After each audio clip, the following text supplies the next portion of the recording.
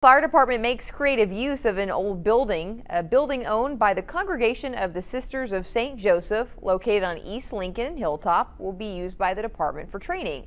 They'll use the space to train for search and rescues, evacuations, fire prevention, and more. The building will be destroyed on September 21st.